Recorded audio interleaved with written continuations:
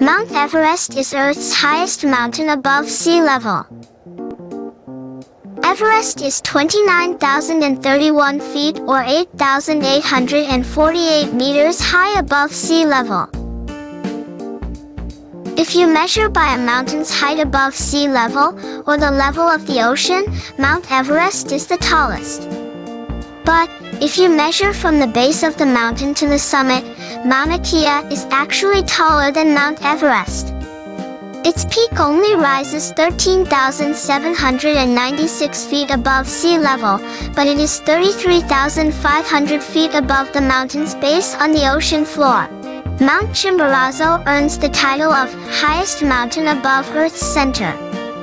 It may only be 20,702 feet tall, but because of the shape of the Earth, it is actually the furthest point away from the center of the Earth. Thanks for watching.